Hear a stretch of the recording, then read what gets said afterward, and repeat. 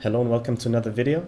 Uh, this one is going to be a bit uh, difficult to structure, but uh, let me explain. So, those of you who have seen the how to recycle video are still waiting for an explanation why recycling T3 Pgens and putting them into support ACUs, uh, RAS support ACUs, is a form of downcycling rather than upcycling. And I'm going to uh, use this as uh, basically start to uh, introduce you to the concept of mass equivalent units. And uh, this is going to be some math. So uh, I don't like numbers. And uh, that's why I'm not going to record this video twice. If there's anything wrong with it then uh, I'll fix it in the description or in the comments. But uh, please forgive me if I'm not going to record this twice. And after we have introduced the concept of mass equivalent units we are going to take a look at the RAS and ARAS before and after uh, the last couple of patches. So right now we are on uh, 3663 and before we were on 3658 and uh, the patches that uh, happened in the meantime uh, changed the RAS and we're taking uh, this model to take a look at what exactly has changed, right? And that's also answering one of your questions from a previous video. And uh, in the end, we're going to uh, derive some uh, practical implications, right? So if you don't like the math, then just uh, skip towards the end. But I think uh, the concept of mass equivalent units is uh, very interesting. So you should at least hear it once, right? So we start with the concept. And um, the whole idea is that in the late game, you can build T2 mass fabricators. And they're going to produce one mass per uh, second and they're going to consume 150 power per second. And, and the idea of mass equivalent units is to say that uh, this is the cheapest way of artificially creating mass if you don't have mass points, right? And that's why we take this as uh, the measure for uh, basically for the idea that mass and power are the same, right? So if we uh, take a look at mass, we just say that one mass is the same as one mass equivalent unit. And if we take a look at par, we just say that 150 par is uh, the same as one mass equivalent unit again, right? So we are eliminating the difference between mass and par uh, by the simple model to uh, pretend they're the same and to calculate with them. So um, some of you are probably going to say that this is complete bullshit and uh, you have a point that uh, actually is complete bullshit because, um, well, if you build T2 mass fabricators, they're usually adjacent to something, and these values don't make sense. And uh, the number of games where T2 mass fabricators become relevant are uh, quite low, right? But uh, just uh, pretend that this concept makes sense, right? This has weaknesses, I know, but this is just a model after all, right? So we just take this as a model and that's it, okay? And, and now we can basically calculate uh, the mass equivalent unit cost of uh, the T3 power generator and the support SU. And basically, um, this uh, whole calculation works like this. You take the mass value of the T3 power generator, which you can see on the bottom left, and uh, you also take uh, the power value, and you uh, start with the mass value and then you add the power value divided by uh, 150 and uh, the sum of that is going to be uh, the 3624 mass equivalent units. And that's your cost right? And you do the same for the uh, RAS preset support ACU and uh, your cost is going to be 7231 mass equivalent units. And you can already see that this is like double the cost right don't have to do uh, crazy math, you can just uh, round it and it's going to be double the cost. And uh, we can compute the output the same way. So we take this value and uh, we divide it by uh, 150 and that's our mass equivalent unit output of the T3 Pgen.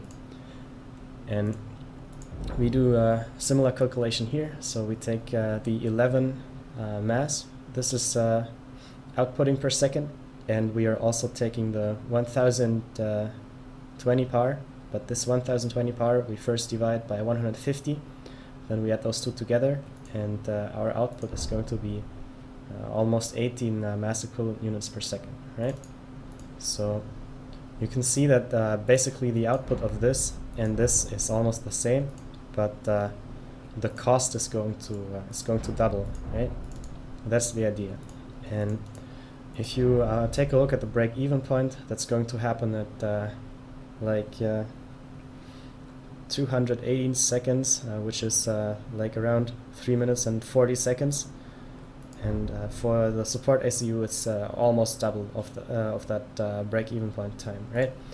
So this takes a double as long to repay its own cost than this in the mass equivalent unit consideration and that's why uh, recycling this and putting it into this is uh, economically speaking actually worse, right? You may still prefer this because this has build power, this has more HP and this can move, but uh, it's still a form of downcycling, right? Because you are getting less uh, output after reclaiming this and putting it into this. And that's the whole idea, right? And I guess now we can uh, move on to the RAS. So the cost of the RAS is always the same, and uh, you calculate it the same way as before. I don't have to explain it again, I think. And if you do the math, then you end up with uh, 6,167 mass equivalent units in cost. And that's just for the RAS, right? That's not for the ARAS. That's a single RAS, and uh, it's not upgraded here, but whatever. And, and basically, uh, we take this uh, cost as a basis uh, and we take a look at uh, the output values, right? And we start with Aeon, and before the patch that changed RAS, uh, the output in mass equivalent units was uh, 36. And uh, these 36 are actually consistent across the faction. So the only one that is a bit worse is Cybran with 35.33 mass equivalent units per second but uh, that's honestly not going to matter because uh, it's less than one, right? So who cares? But uh, in the uh, patch that changed the RAS, uh, the situation is uh, changing quite drastically because we are here losing an output of 7 mass equivalent units per second. we are losing one of 5, 5.5, losing one of 5.3, and we are losing one of, of 7 again, right? So to give you some uh, some idea and put this uh, whole thing into perspective, uh, the old Aeon uh, ACU is going to repay its old cost in mass equivalent units uh, within uh, 171 seconds, right? And now it's going to take 210 seconds to repay its own cost in mass equivalent units. So that's 40 seconds more, or uh, if you want to have a relative number, that's going to uh, take 23% longer to uh, repay its own cost uh, after this patch, right? So that's uh, quite a lot that changed actually. And uh, what does it mean for gameplay? What does it mean for airplay, right? basically, this is the consideration for 3663, that one was wrong. And what you did with the ARAS faction, uh, basically Aeon and Seraphim that had the second uh, RAS, you upgrade both uh, RAS, and before uh, the last patch, you will always reclaim your T2 power and put uh, the T2 power into the ARAS, right, to get it faster. But now, if you want to go for uh, ASFs and strats, you may have to keep your T2 power. That's basically the entire uh, implication from this uh, math. And if you used to play RAS faction, uh, basically what you did before was usually um, like you kept your T2 power anyways, and then you would usually build a T3 power generator and uh, reclaim your T2 power after that, right? And that's how you uh, ended up with uh, okayish eco, right? And uh, now you would basically keep your T2 power and uh, you would also uh, keep the T3 power and not reclaim the T2 power. So that's basically a very uh, si simple finding, right? You just keep the power generators and have the same eco as before in terms of power. Of course, your overall, overall mass balance is going to be worse than before because you could not reclaim the because you cannot reclaim the T2 power, but you're just going to have to make up for it by being more efficient with your use of air or you have to uh, reclaim more, right? but uh, that's uh, not too difficult actually. And uh, the second change to RAS and ARAS is the build time. And previously, um, most people uh, use the build power of the ACU and uh, one engineer to upgrade uh, RAS. And that's what uh, people use for like uh, maybe two or three uh, T2 power generators, right? And if there was like a lot of team overflow, you could even double assist it with one extra engineer. And basically what changed now is that the RAS is not as fast to upgrade in terms of build power or like build time. So you would uh, simply treat three T1 engineers and your ACU um, as if they were the same as just the ACU and one engineer. So this is for the old uh, patch environment and this is for the new patch environment and it's going to upgrade at uh, roughly the same speed. Of course not here because uh, this is the new patch environment but uh, theoretically if we could still uh, play the old patch we could start these two upgrade procedures at the same time and they would also end at the same time right?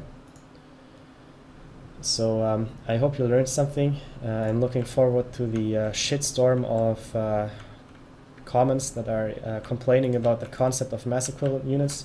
Uh, I didn't come up with this and uh, I can see how it's wrong in some ways but it's also a little useful. If you know the drawbacks of this model and you're okay with a non-ideal model, basically. So um, thanks for watching, and uh, sorry for the math, and uh, good luck, have fun in your games.